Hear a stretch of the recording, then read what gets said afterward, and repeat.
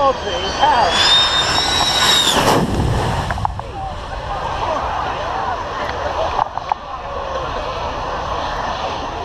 He's a bit close, wasn't he?